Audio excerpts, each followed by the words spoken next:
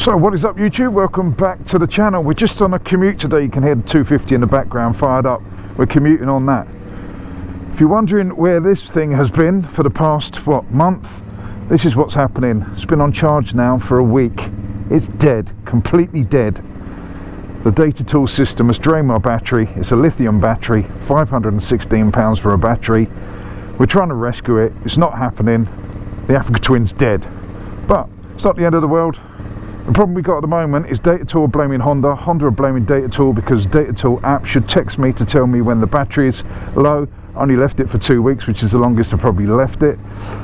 Uh, but yeah, it's dead and it might cost me a lot of money. So that's in the garage, not going anywhere. The CL500 still looking good. Got some stuff coming for that tomorrow. And the Super Cub, although it's on the bench, is just where it parks.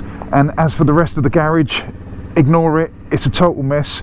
I'm kind of rearranging and getting stuff done. I don't normally live like this. That's a lie. Now let's get on with the commute.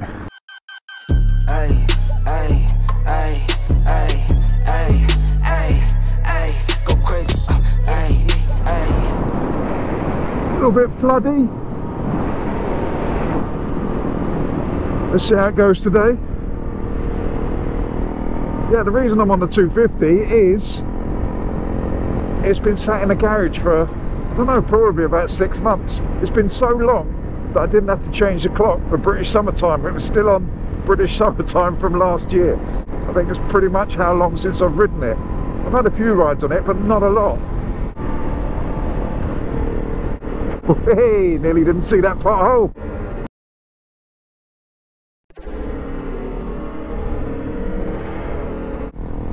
That's a biggie. That'll puncture your tyres. Anyway, back to the 250. I rode it yesterday to work and back, and it was lovely. So today I decided to do it again. And because it's been absolutely hacking down all night, there may be some floods on the way. Now, I'm not guaranteeing it, I'm just saying there may be. And this is the perfect bike for it. We've established this in the past, if you watch my videos. This bike is pretty unstoppable in most things. The reason I don't use it as much in the commute is simply because of the tyres. I've got 90 10s, 80 20s, whatever the split are, but they're more off-road focused. They're Michelin trackers. So they wear out very quickly on the road, especially if it's dry, because they heat up and kind of disintegrate. But I've had this set on for well over a year. So that just goes to show how little I've used this bike. And I also wanted to bring this bike out and give it a little bit of a shakedown because I might be taking this to the ABR Festival at the end of June this year. As you've just seen, the Africa Twin is pretty dead. There's a little bit of a dispute going on at the moment. I will do a video on that to tell you what's going on about that. So I basically just wanted to give this bike a little bit of a shakedown. What I've realised is I now remember how uncomfortable this seat is. So I might invest in a new seat if anyone out there's got one of these bikes or a similar kind of dual sport bike and you've got one of those seat concept seats let me know. Are they worth the money? Are they more comfortable? They claim to be. I think Hippodrome's got one on his Beta. I'm not sure. I'll have to ask but I think he got it to lower it. I'm not sure if he got it to be more comfortable. But I'll have a word with Hippodromes. But in the meantime if you guys have got one got one of these bikes or have done anything to the 250 rally to make the seat more comfortable let me know. But at least it stopped hacking down with rain. That's a bonus. I've got to remember these tyres are not the most grippy in the wet.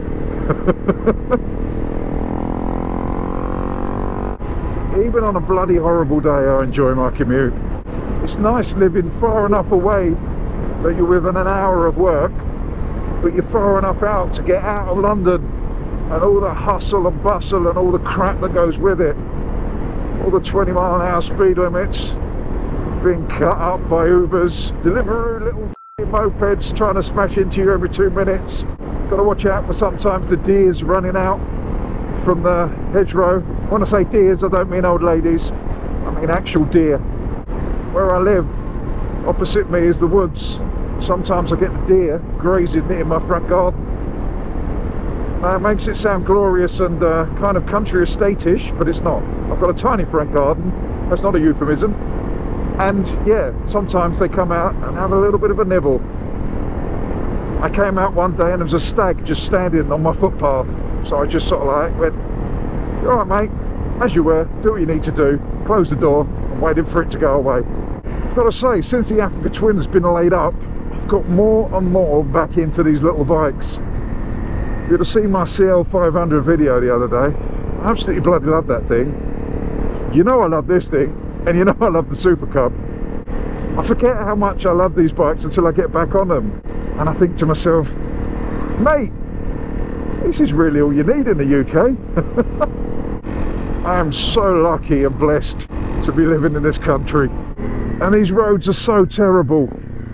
But this 250 just comes alive and it's absolutely brilliant. Even on these knobby tyres in the wet. It's fantastic. I've got the mirror visor on that's now steaming up. I got all excited the other day, put this on, thought I'm not going to need a Pinlock anymore. Oh, I was so wrong. Can you believe it? This is my commute. Been living there two and a half years and it still makes me smile. There are various different routes I can take to work and back. So depending on my mood and how much time I've got, I can enjoy myself. It's a little bit floody. Not all of that is a river.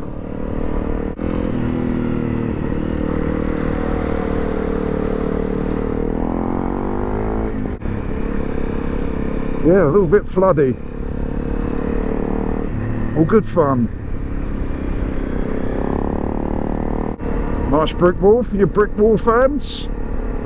This is Betchworth. If you ever want to come and see a brick wall, here you go. Got some lovely ones, some lovely examples. Bit modern. We'll scrub that one. I think that puddle filled up my boots. I think it went up my trouser leg and then down inside my boot. Brick wall on a brick wall.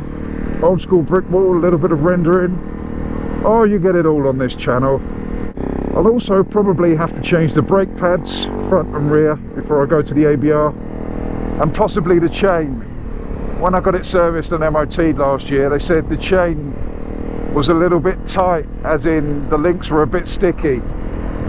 Which was kind of annoying, because I've only done 300 miles on this chain since I bought it. But because I rode it off-road, never cleaned the chain, and let it go to ruin, basically, it tightened up a bit. Now I've taken it off, I've soaked it, and hopefully we can rescue it. So if it's freed up, I won't have to. But if I need to do it, I will, because it's my own fault. It's my own neglect of you, you little 250. I'm so sorry. I didn't mean it. I really didn't mean it.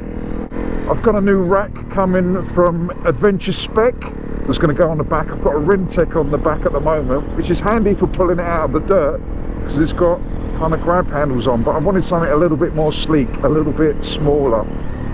Oh, you oh, so close. I could have made that. But trust me, you don't risk it when it comes to trains because if you get hit by one, it hurts a lot. A few hours later.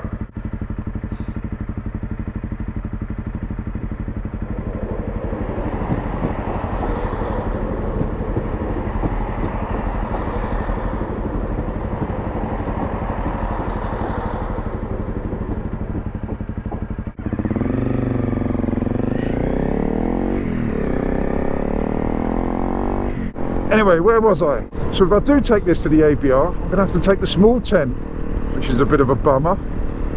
Because I don't like camping at the best of times. Small tent, single mattress, not my kind of thing. Hotel with a bathroom, that's what I bloody well like.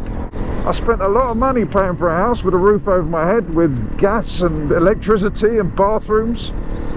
So to leave that to sleep in a carrier bag in a field, it's not my idea of fun. But don't have a lot of choice so we're gonna have to grin and bear it right so that's about it for this one I guess we're coming into the boring bit which is traffic no one needs to see that don't forget 14th of April is the motovlogger Instagrammer TikToker Facebooker uh, what else is there Exa which is also Twitterer. Twitterer, Twitterer. It's the motorcycle meetup basically. It's 14th of April. We're starting down at Conquerors Apparel at Route 1066 Cafe. I'm trying to get there for 10 o'clock. We'll leave for 11ish, then head up to Ryka's in Box Hill for about half 12 or 1 o'clock. That's the aim. I haven't planned a route. Well, I tried to plan a route. I did it two times. There was floods, road closures, and I just figured, do you know what? It's going to change on the day, and uh, depends what bike I take, what the weather's like, what mood I'm in, which route I'm going to take. So, we're going to wing it. We're going to do it on the day. I'll either do it Waze motorcycle function, Calimoto, which is a bit more twisty and B-roady, or maybe TomTom Go. Who knows? We're just going to follow the sat nav, see where we end up. But we're all going to end up at Ryka's, hopefully. You can come to either, or you can come to both. Everybody is welcome. It's just a chilled out, drink coffee, talk rubbish, kick tyres, hang out. You might make some new friends, make some new WhatsApp groups, go out, make your own little kind of, yeah, things, and then you can go out riding with your mates and uh, basically, let's all be friends. That's what I'm trying to say. Let's all be friends, get on, have a good time, and hopefully see you on the 14th of April. So that just leaves me to say, don't forget to subscribe, to like, to share, to do all those things that you need to do. Also hit that notification bell so you guys can get the drop on these videos. If you want to leave a comment, leave that downstairs in the comment section. So for myself and the two 250 on the morning commute, I bid you farewell. You know I love you all. Stay safe. Fish out. Get all your bags, get out my house. I don't want your stuff around. I never did you wrong, but you did me wrong. So go ahead, get gone. Get all your bags, get out my house. I don't want your stuff around. I never did you wrong, but you did me wrong. So go ahead and get gone.